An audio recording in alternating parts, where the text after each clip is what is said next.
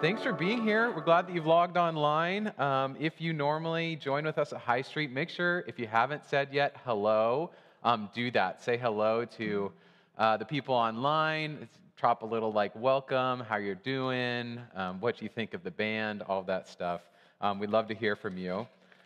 Um, also, if you have not joined with us online in the past, um, we're glad that you're here. Or if this is if you're not a normal attender at High Street, we just want you to know you're welcome.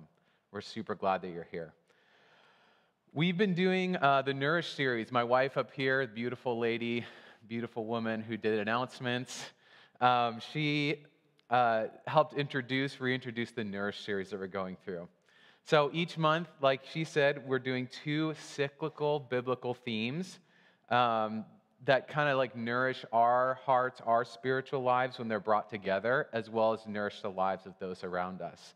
So we looked at restore, where we know that God's creation is good, but there's really um, a brokenness that's come into it through sin, and how God, through our faith in Jesus, is doing a lifelong restoration. And as we enter into that restoration, we can experience seasons of frustration where we realize that God, we need God to revive us. And so that was the second topic God reviving us, breathing life into our places where we need it most, and uh, even flooding our world and our lives with His presence. And so we're actually jumping into the next topic on that this Sunday. It's called presence. So we're going to be doing presence and purpose. This Sunday's presence, the next Sunday will be purpose. Um, and so I'm excited about tying those two themes together and seeing how God will lead us. So I think presence is the natural next step from revive. So, I mean, I'm wondering for you, like, what do you think of when I say God's presence? What comes into your mind and your heart when you think of the presence of God? You know, when I was younger, my dad would wake me up early. Started probably when I was around five and lasted up through high school. And we'd drive to the lake. We'd have all our fishing gear in the back trunk. We would buy some bait at the tackle shop. And I, through my dad, learned to fish. So I learned how to tie these little tiny knots called barrel knots to keep the hook on. I learned how to cast, which is a pretty big feat for a young child. Um, I learned, my dad taught me where fish were hiding, especially when we were out in the boat. He would show me uh, the different places where they like to hide in the reeds or underneath structures. I learned which bait to use and which bait different fish enjoyed. And I learned how to know when there's like a fish on the line, when you get that little tug and your adrenaline jumps, as well as when to set the hook and get it so it, you know, gets it right in its mouth and it's not getting off that line. My dad and I spent hours and hours at the lake. It was only about 15, 20 minutes from our home, and we'd spend all morning there. And the purpose, you know, what do you think the purpose was? Uh, to catch fish, right? But there was so much more going on in that time together. My biggest catch was I think I was around fifth or sixth grade. My dad and I and my dad's friend were out on this boat, and we'd been out all morning. We hadn't caught much. Kind of sounds like a biblical story, but it's not. Um, and towards the end, I was trying to fish a little bit, you know, obviously, and my line got tangled around my reel. So the bait was all still in the water, but all the line got tangled there so that I couldn't even reel in. Man, that's so frustrating. I don't know if you've ever experienced that. But it was towards the end anyway, so my dad said, Why don't we just drive in? And so we drove our boat towards the docks, and I just left my line in the water the whole time. Um, once we pulled in and docked the boat, I started to pull at my line, and it stuck on something. And, um, you know, I started to feel like a little bit of a failure as a junior fisherman. I was with my dad's friend, with my dad, obviously, who's experienced fisherman, and not only was my line tangled, but it was also snagged, which are like two big, uh, you know, embarrassments for a fisherman. So frustrated, I hand it to my dad and say, Dad, like, I think my line's snagged. And so he grabs it gently and tugs on it, and he's like, Dave, that's not a snag, that's a fish. And I could see the line as he starts to pull on it is kind of moving back and forth, like there's something connected to it. So I'm like, you know, we're both getting excited, our adrenaline is pumping, and um, so I, my dad actually uses his own hand because the reel's not working to wrap the line slowly around it as he pulled this fish slowly, and it was it was really fighting. It was pulling, wrapping it slowly around his own hand, as he gently pulls this fighting fish towards our shore. And as it gets closer and closer, I can hear him saying, It's a big one. So this took a long time. As you can imagine, reels are meant so that you can go quickly and get that fish inside, but hand over hand, it takes a while. But once it got close, we netted that fish, and it was a five pound trout. Still the biggest fish I've ever caught to this day. And um, it was just so exciting for me and for my dad, and obviously for my dad's friend. Um, but, you know, as I, I was thinking about the story, I was like, who did all the work on that fish, right? Like, who reeled it in? Who noticed it? It was my dad. But who got all the credit? Me, right? To this day, when I still tell that story now and with my dad, it's still my fish. Because why? It was on my pole. You know, but now it's but now it's our story, my dad's and my story. So my dad has switched to fly fishing recently, and that's actually much harder. Uh, I don't know if any of you have tried that, uh, but I want to learn, so I've gone on a few trips with, trips with him just to keep spending time with my dad. It's so fun, and just to kind of do what he's doing, be about what my dad's about. So the whole point of that story, if you didn't catch it as I was saying, it was when I'm with my dad, the purpose is important, right? Catching fish. But it's equally, if not more important, that we were doing it together. So we're talking about presence, this being together, enjoying time, connection, conversation, memories, adventure. This is the experience that I wanted us to tease out as we think about the presence of God. It's knowing a person like I was knowing my dad relationally, not just facts, not just truth statements, but actual time and investment, being near each other. You see, the presence of God isn't just an idea, it isn't just a feeling. The presence of God is a person. Yes, we know God exists everywhere in His creation, but this presence of God, this person of God, is specifically and specially present with and within those who have given their lives to Him through faith in Jesus. The presence of God is central to the Christian life. You know, at times it's sweet, awesome, refreshing to be in this presence of God. And at other times, it can be frustrating and even confusing. But it is this relationship with the person of the Holy Spirit that can transform us and our world. You know, even Jesus, before he went to the cross, he said this to his, to his disciples. He said, Sorrow has filled your heart. Nevertheless, I tell you the truth. It is to your advantage that I go away. Why? For if I do not go away, the Helper will not come to you. The Helper in this passage he's speaking of is the Holy Spirit, the presence of God.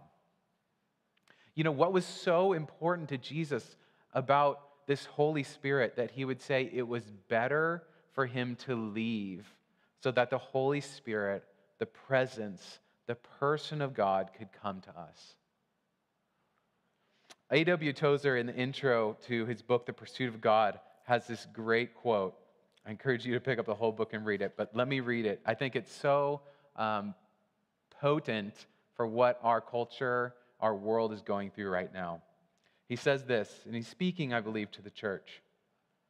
In this hour of all but universal darkness, one cheering gleam appears. Within the fold of Christianity, there are to be found increasing numbers of persons whose religious lives are marked by a growing hunger after God Himself. They are eager for spiritual realities and will not be put off with words, nor will they be content with correct interpretations of truth.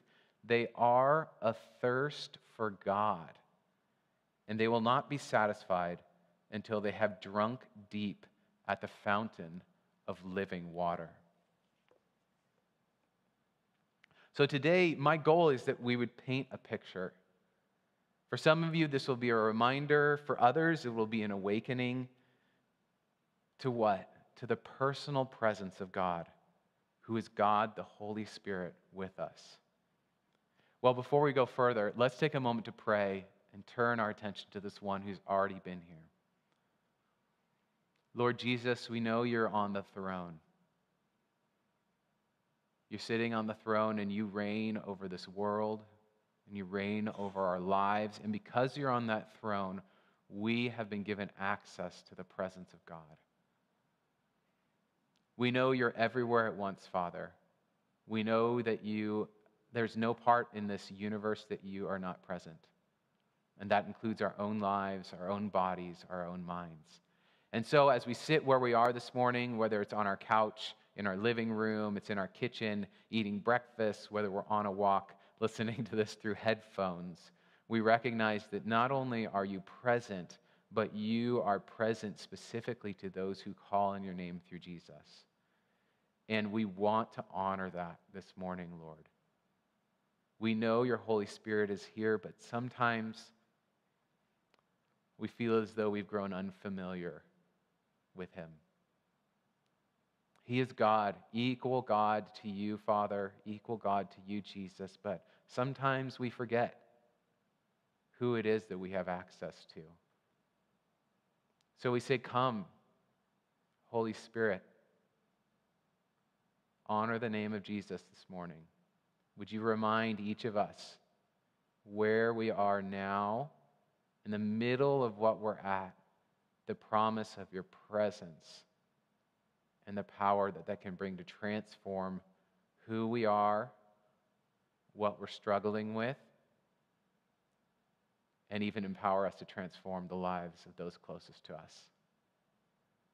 We pray these things to honor the name of Jesus. Amen.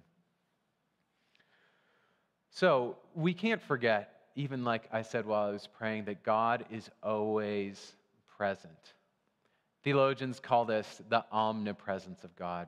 Kind of sounds like a cool sci fi artifact. I have the omnipresence. But it means he's all present, right? He's, he's always here. God's presence fills the universe.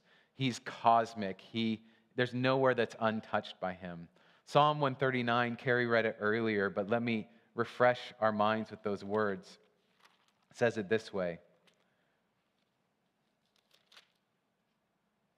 Where shall I go from your spirit, your presence? Or where shall I flee from you, your presence? If I ascend to heaven, you are there. If I make my bed in Sheol, the lowest place, you are there.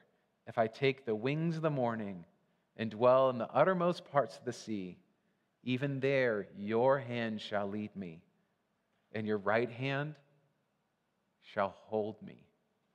If I say, Surely the darkness shall cover me, and the light be about me as night, even the darkness is not dark to you. The night is as bright as the day, for darkness is as light to you. Wow. That is like beautiful, and even that ending is such a contradiction in terms. Thinking that light, darkness can be light to God, that there's no place that He is blind to. Um, Hebrews 4:13 says it this way: "And no creature is hidden from His sight, but all are naked and laid bare to the eyes of Him to whom we must give account." All things are naked and laid bare. Let's let that unfold in your mind for a moment. To, the, to his eyes, to God's eyes. When the psalmist hears this, when he writes those words of worship, he ends with this prayer and this cry Lord, search me and know my heart. Try me and know my anxious thoughts, and see if there be any grievous way in me and lead me in the way everlasting. See, that, that realization of God's nearness, of his presence everywhere, both with the things that are closest on our hearts and the things that concern us in our future, God is there. And in response to that, the psalmist says, Search me, know me. I want to walk in that sort of intimate fellowship with you. And we get these pictures from the Bible of this sweet connection with God's presence. But from the beginning, when we look at Genesis, we realize that that fellowship was uh, perfect at a time, like we talked about in our Restore series, but has been broken through our relationship with God that, through Adam and Eve's sin.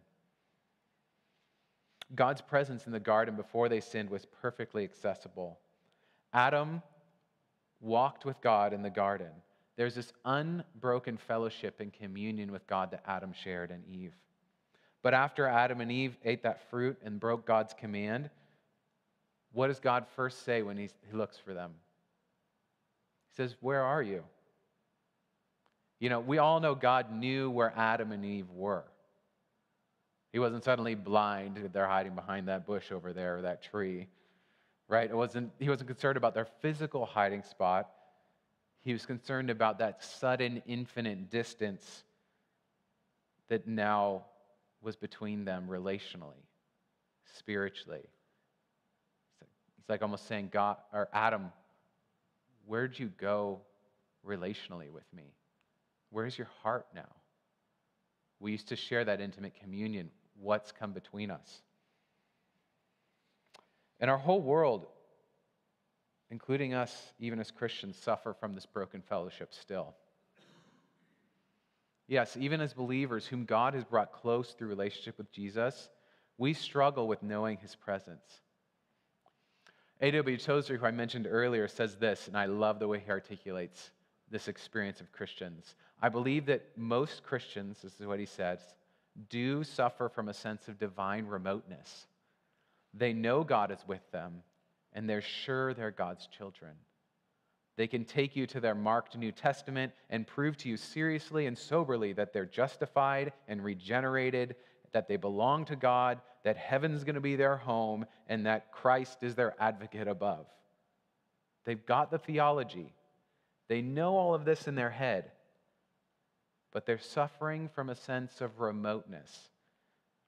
To know something in your head is one thing, and to feel it in your heart is another. And I think most Christians are trying to be happy without having a sense of the presence. He goes on to say this the yearning to be near to God and to have God come nearer to us is universal among born again Christians. And yet we think of God as coming from across the distance to us, when the Bible and Christian theology, and all the way back to King David, declare that God is already here, now. God doesn't dwell in space. And there, God doesn't have to come like a ray of light from some remote place. There is no remote place in God. He contains all remoteness and all distances in his own great heart. What I'm trying to get across is simply this nearness to God is not a geographical or an astronomical thing, it is not a spatial thing, it is a spiritual thing.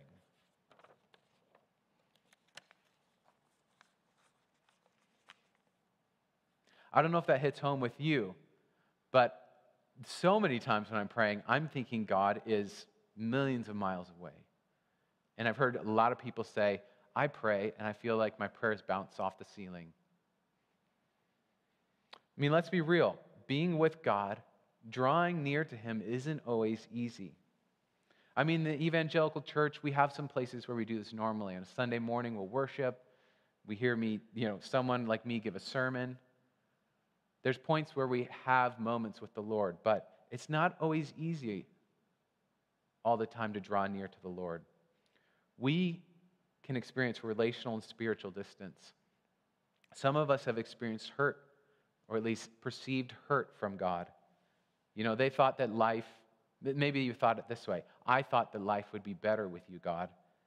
Some of us experience confusion I know the presence is part of your story, but I, I just don't get it.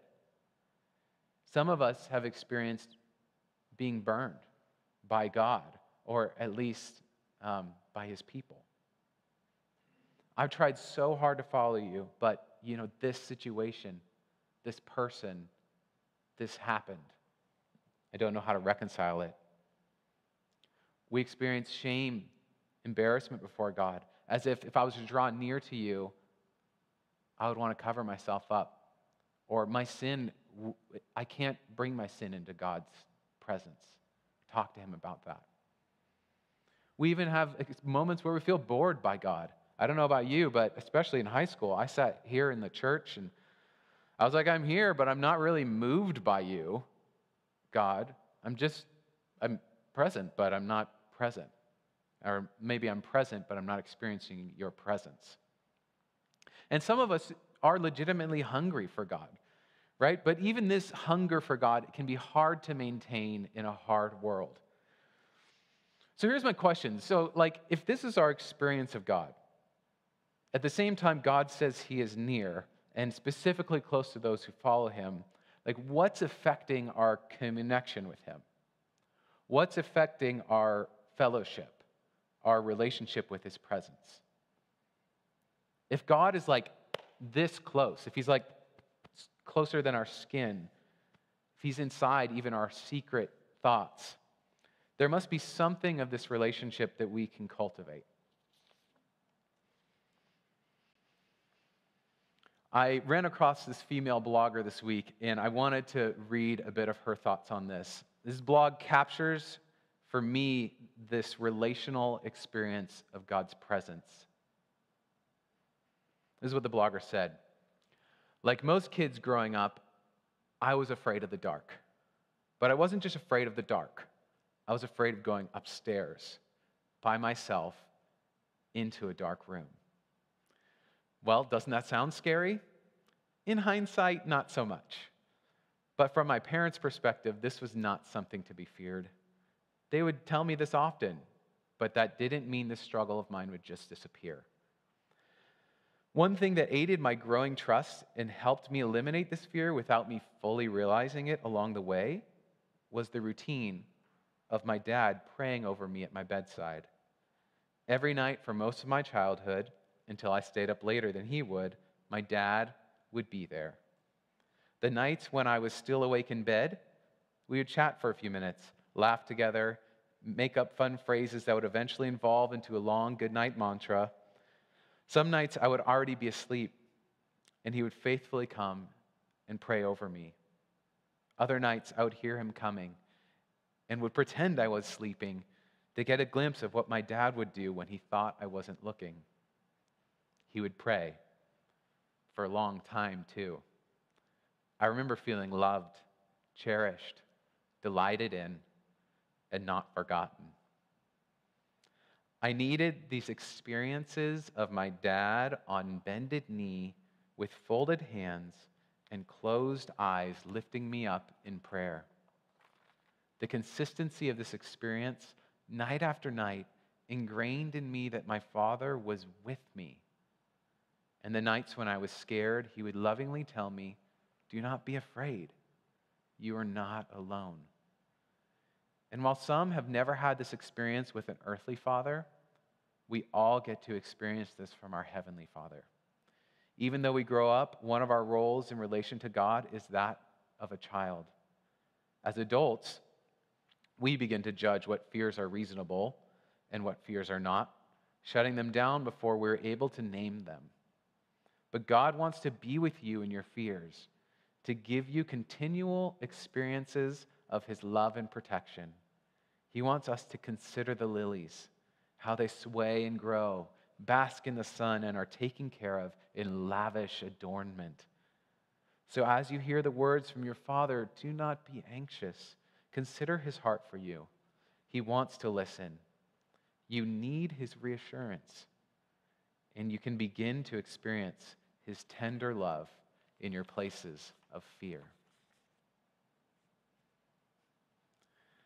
What a beautiful, beautiful picture of God's presence with us. And actually, that author of that blog is my wife, so compliments to her. In a relational experience of my wife's father's prayers, as she had experienced her dad praying over her, she received his care his protection, and love. And this translated for her to an understanding an experience, a kind of like knowing of God's presence with her. We see in that moment between her and her dad sort of like an image of the sweetness of God's presence. Their goodnight mantras, even like hiding, wondering what her father would do when she wasn't when he thought she wasn't looking. Also, we see in that time transformation happening. This transformation that can also happen as we spend time in God's presence. Of this sweetness, I think that's one of the most attractive things about God's presence. That God and who He is actually affects us in a way that can feel good, can feel sweet. Jonathan Edwards, the great revivalist um, of the Great Awakening in the 1700s, had an experience uh, when he was riding in the woods of God's sweet presence. He said it this way Once, as I rode into the woods for my health in 1737, having alighted from my horse in a retired place, as my manner commonly has been, to walk in divine contemplation and prayer, I had a view that was for me extraordinary. I saw the glory of the Son of God as mediator between God and man, and his wonderful, great, full, pure, and sweet grace and love, and meek, gentle, gentle condescension. This grace that appears so calm and sweet appeared also great above the heavens. The person of Christ appeared ineffably excellent, with an excellency great enough to swallow up all thought and conception which continued as near as I can judge about an hour. This kept me the greater part of the time in a flood of tears and weeping aloud.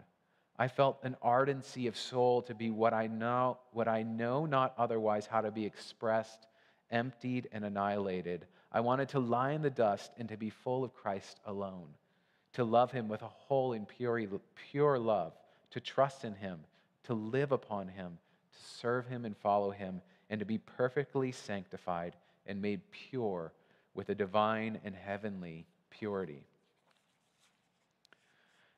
Wow. You can hear Jonathan Edwards' words stretching. He uses really big language that we don't often use in a sermon, I would say.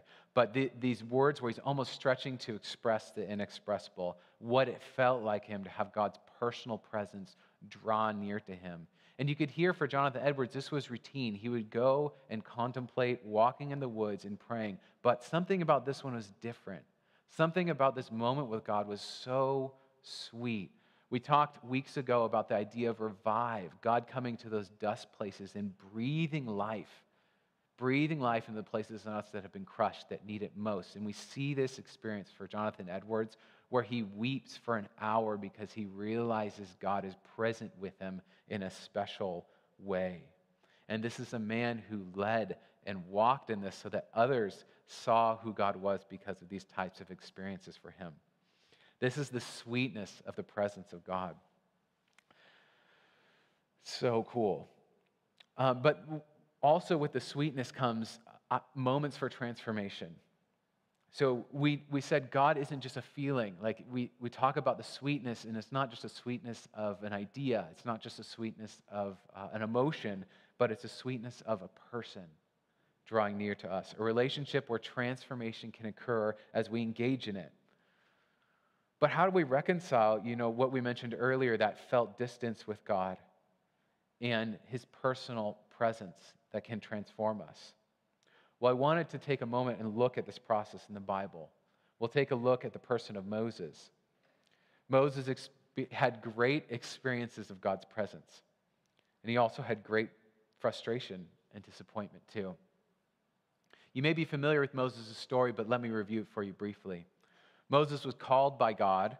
I think he's probably in his 60s because he's had 40 years shepherding and he already had grown up in the palace in Egypt. He was called by God when he saw a burning bush while shepherding. He goes up and meets with God, and God, God says, This is who I am, and calls him to be the deliverer for Israel. He makes Moses' hand go from normal to leprous and then back to normal again.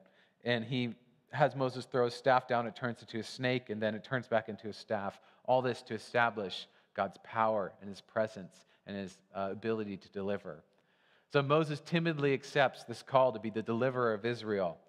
And he goes on with his brother Aaron to take on the Pharaoh of Egypt. And 10 plagues later, Israel, millions of them, walk through the Red Sea. Did you know that? It was millions. It was maybe uh, you know, historians estimate two to three million people walking through that Red Sea. These people with Moses received supernatural bread, quail, and water from God in the wilderness.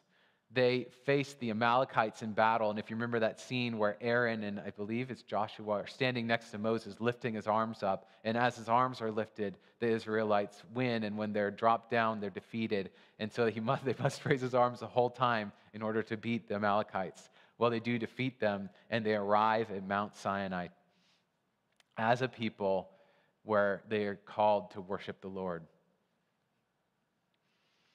So you can see Moses had already built, at this point, a significant personal and corporate history with God's presence. So now he heads up to Mount Sinai. He's up there for 40 days and 40 nights.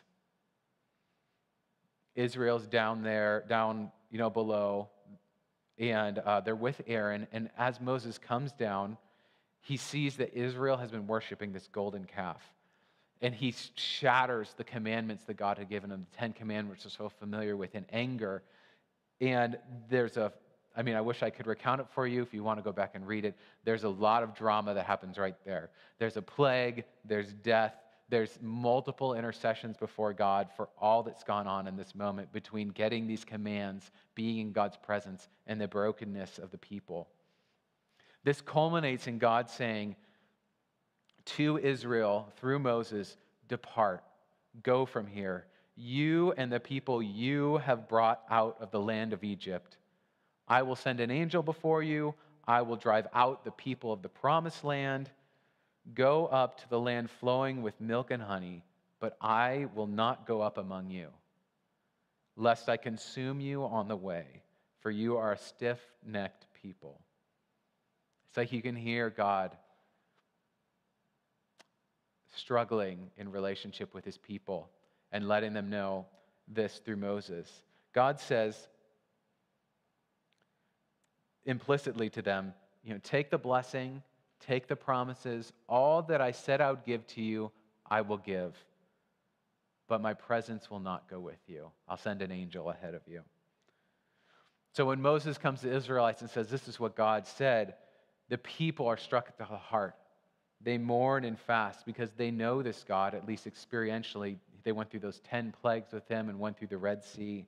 They received food from his hand, water from his hand and they're at a crisis and they wonder will God not lead us anymore with his presence? Will we go on without his presence? So read with me. We're going to look at Exodus 33 7 through 12 and watch how Moses handles this situation.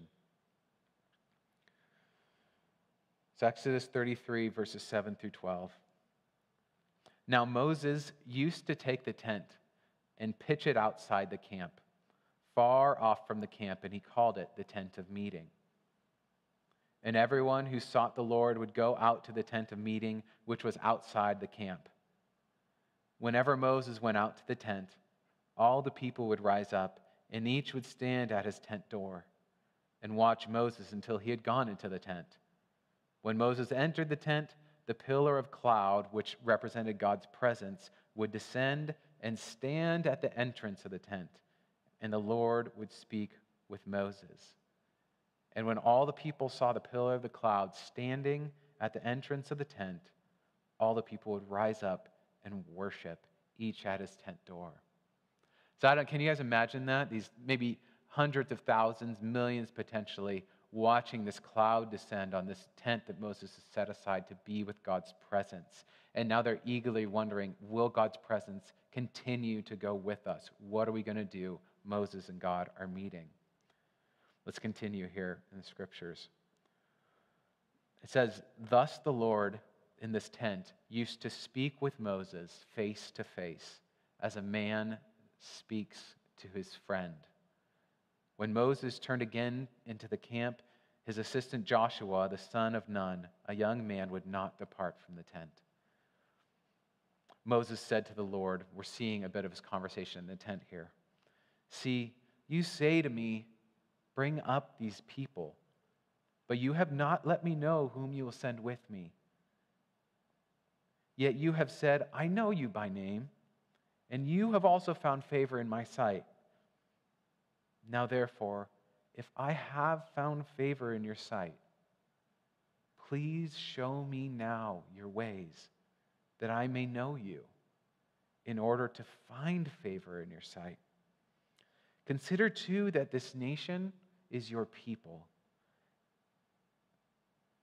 And God said to him, My presence will go with you, and I will give you rest. And Moses said in response, If your presence will not go with me, do not bring us up from here.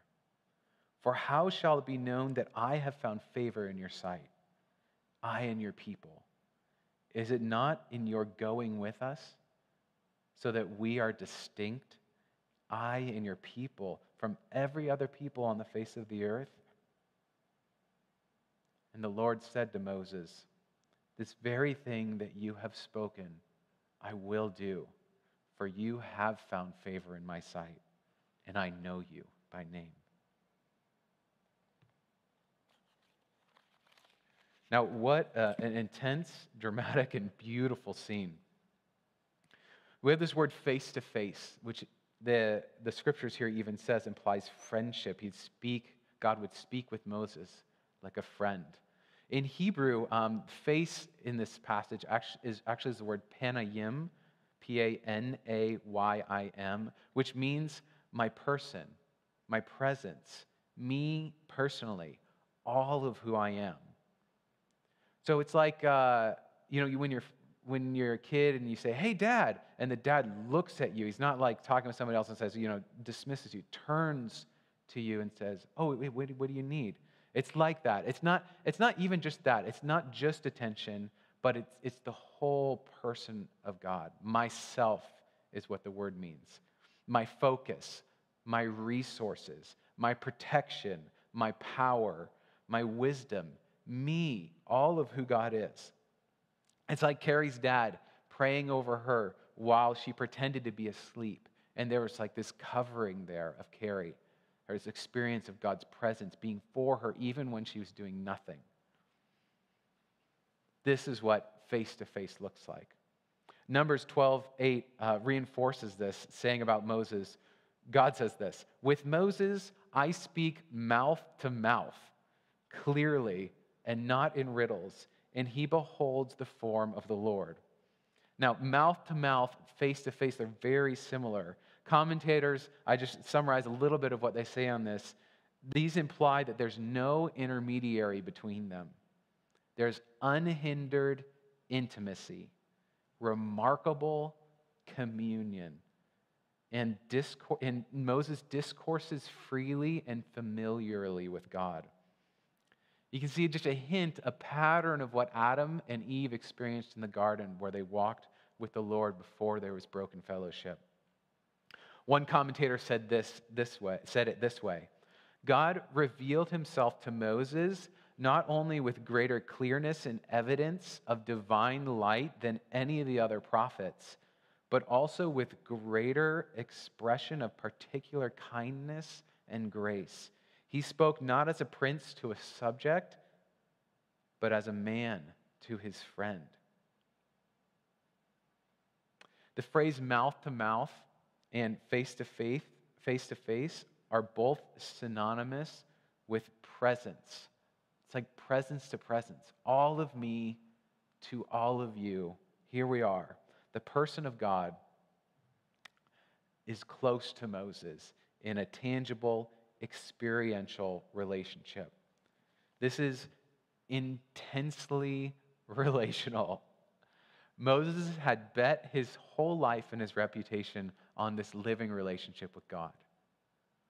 And in this moment, we can see that that intimacy between him and the Lord made up for all of the uncertainty that he was facing. I don't know about you, but many people I've talked to are experiencing frustration and uncertainty in this season. This idea of face to face ought to begin to tug on our own experience of God's presence during this time. You know, we all have faced times where, God, where we trusted God for something and it didn't turn out like we wanted. You know, even as, even as I'm talking about it, I'm wondering what situation comes to mind for you. You know, recently I've spoken with numerous believers who sense God leading them in the last year or so, year or so to something, to somewhere, and they took a risk. They left another opportunity, another community, and they moved, they made a decision, only in the midst of that, only months ago, to be hit by COVID 19. They face loss of jobs. They face now an unstable economy. They face shifts in relationship. And I hear a similar theme coming out of this God, I thought you were leading this. God, I thought you were in this. You know, I've also known numerous folks who entered into ministry, ministry roles, made sacrifices, bet their lives on God like Moses did, trusting him for peace and provision only to enter into conflict, division, even betrayal. Things that are not of God, but God allowed them. So, though it seems incongruent that God would allow these broken circumstances in the midst of his good plan or calling, the Bible actually shows us that presence is actually, his presence is actually intimately involved but we only begin to see this and experience it as we draw near to Him. You know, Moses' frustration, he'd accepted God's call. He said, I can't even speak. Please bring my brother because I'm not good at this. Plus, what's your name? I don't really know you. How, who am I going to tell Israel you are? You know, that's when God reveals. He says, I am who I am, Yahweh. And then Moses goes on and faced Pharaoh in numerous plagues. He'd walked through the Red Sea. He dealt with Israel's complaints and false worship. And now what? In the middle of these commandments that are broken on the ground, God's presence wasn't going to go with them? This is the type of conversation that Moses had entered into when he entered into the presence of God. Uh, another commentary I was reading said that face to face is actually an ancient Near East idiom. It can mean heated debate or hard bargaining. It has implicit expressions of frustration and even anger. It's like, uh, you know, Jacob. So you have Abraham, Isaac, Jacob in the generations that God called. Jacob wrestled with the angel of the Lord in one scene. And he, he holds on to the angel of the Lord and says, I will not go until you bless me. There's an urgency and a passion in it, a calling out for God to be who he promised to be. It's like saying, God, this is who I know you to be, and these are my circumstances. Now, God, be who you are. Be you in this. This is the heated debate that we're entering into. This is the hard uh, bargaining that we're entering into. You see this sort of intense emotion inside of Moses' conversation with God's presence face to face. One commentator said it this way We get this typical Middle Eastern style interplay between God and Moses. Moses questions, God says what he's going to do. Moses disagrees and offers a suggestion. God says no. Moses gets God to see it his way. Eventually, God agrees. So I don't know if you're familiar with this, but I am familiar with this as because because I'm half Armenian. I grew up in a family. My mom's side is Armenian, and I call this bantering. I grew up watching Armenian women in particular banter over many things, including recipes and how you say certain words and uh, you know which family member said what or historically what happened in the family. Bantering I believe, is a love language in the Armenian culture. And I've told my mom this that her love language is bantering, and she disagrees, which only affirms my point. You see, there's actually in bantering, in this hard bargaining, in this, this real honest conversation with the Lord, there's actually a profound connection that can occur. When you get honest enough to express your emotion to another person, and when you're familiar enough to allow the conversation to bounce back and forth, we're less afraid of being perceived as wrong and less concerned about being right, and we're most concerned about how this relationship will work out. There's actually, in that sort of bantering relationship, there's a surprising safety and connection. It's like, you know, we all watch this. If you have a good friendship, when you first were friends, you kind of navigate each other gently. You know, do you like coffee? Oh, you like coffee? Cool. Maybe we'll get coffee together. You know, but once you're like friends for a while, you're like, I don't like coffee. I actually like tea. Can we stop getting coffee or go to a tea place sometime? And that actually is a sign of deeper relationship when it shifts from pleasing into actually being known and pursuing one another like that. So the, those areas of like relational dissonance that we experience can actually bring us closer to the Lord. They're actually signs and uh, uh, moments where we can experience God's presence in a more mature way. So, my question for us and for you is does, does your prayer life look anything like Moses's? You know, how comfortable are you talking with God about those areas of your heart? How comfortable are you getting with Him face to face? Could you banter in God's presence? And what areas of frustration are you carrying that you may need to talk to the Lord about? What would it be like to wrestle in His presence? Say, God, this is who you are, and this is my situation. Now be yourself here. We look at Moses' response when God promises that his presence will go. He says this If your presence does not go with me, do not bring us up from here.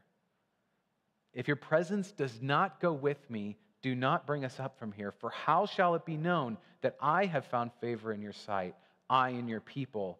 Is it not your going with us, so that we are distinct, I and your people? from every people on the face of the earth. What does Moses do in this tense relationship with the Lord? When we look at this prayer, we look at this declaration. He calls on the promises of God. He says, You called us to be a distinct people. How will we be distinct without your presence? He calls on his own personal history with the Lord. I've found favor with you. You know me by name. And at the core, he calls on his desire, his relationship with the Lord of the universe. He says, again, if your presence does not go with me, do not lead us up from here. This is a desperate heart cry from a man who is living in the tension of the broken fellowship with the Lord and the sweetness of his presence that he's experienced. One commentator said, Moses is saying it this way Let us rather live and die in the wilderness with the presence and favor than go into Canaan, than go into the promises, than go into the blessing without it. For even that promise of rest I value not without thy presence. So Moses echoes back God's words to himself and turns God's promise into a prayer. You know, there's a desperation in the presence at times. You know, it can be good and sweet, but when we're honest, when we've gone through some hard things, when we're dealing with stuff like COVID 19 and uncertain economy, racism, injustice, we need to ache, cry out, wrestle with God because somewhere deep inside, we know him. And we know he needs to be with us, or everything else will fail. And for some of us, it's that point where everything has failed that we can really cry out, God, your presence must come first in my life. Your presence must come first and nothing else. If you remember, Jesus said this while he was on earth Apart from me, you can do nothing. Now, obviously, we can do things. We build things and life goes on. But he means relationally, he means spiritually. Nothing of the kingdom, nothing of his presence will be done without him. So I'd like to take a few minutes to pray together about this. We're going to have the band come up and we're going to think, pray, open up our hearts a little bit to the presence of God who's been here with us as we've been thinking and reading Scripture together. So I want to lead this, um, and I want you to kind of like hold out your hand like a fist, symbolically. And um, I'm going to tell you what's, what you're, I'm going to want you to consider what you're holding in your fist. I want you to hold out, um, you know, the area in you that's been highlighted during this sermon, during this time as we've read the word. What have you been considering as we name these frustrations? And put words to it. I want you to name it. Hold out that area. Hold out that disruption that seems to keep you from God. Maybe it's a relationship. Maybe it's loss. Maybe it's finances. Maybe it's your own temptations and sin. Maybe it's the problem of evil or unbelief or Maybe it's COVID. Maybe it's racism. Maybe it's division or disunity. Hold this out before the Lord. And as I lead you in prayer, I'm going to give you some things to ponder. And I want you to begin practicing bantering with the Lord. And in that, that shared conversation, let Him banter back too. And for those of you who along the way, as we're praying, who don't have words for bantering, let the Holy Spirit intercede with you with groanings too deep for words. And take this time to be in the presence, God's presence.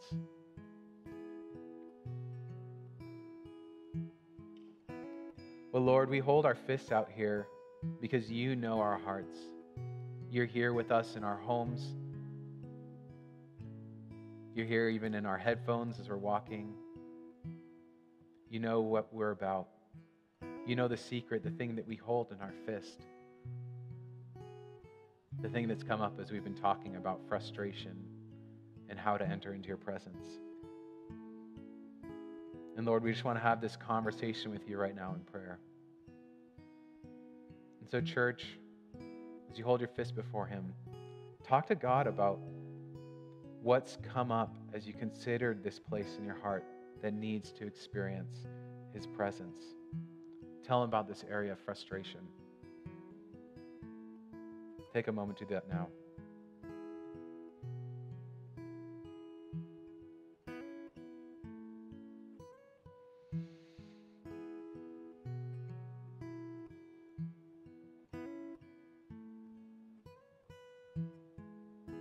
And now tell him who you've experienced him, him to be in the past or who you know him to be through his word.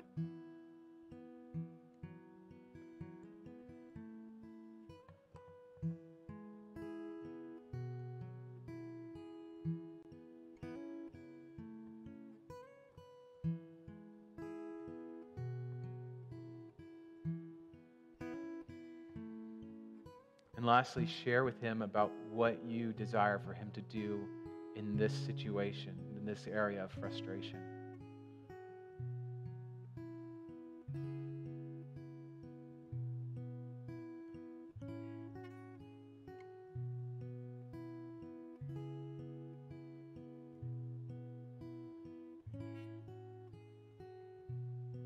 Now, as you begin to rest in His presence, when you feel comfortable, you can open your fist. I'll open mine right now. And you can pray with me. God, I know your presence is here, that you've already seen this.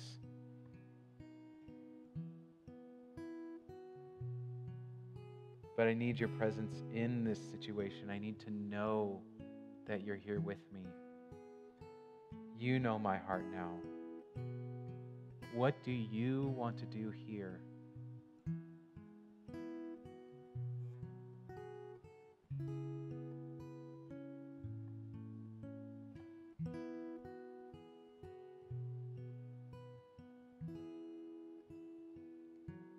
As you're praying, you may have a word come to mind, a song, an image, a verse. Take a moment just to receive that from the Lord.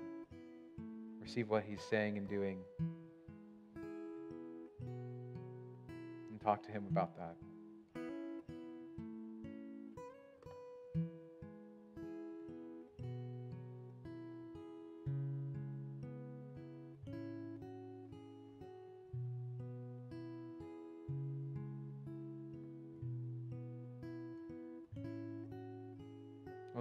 Jesus, we know you've been here this morning in such a special way as we talk about your presence. We can't forget what you did for us on the cross.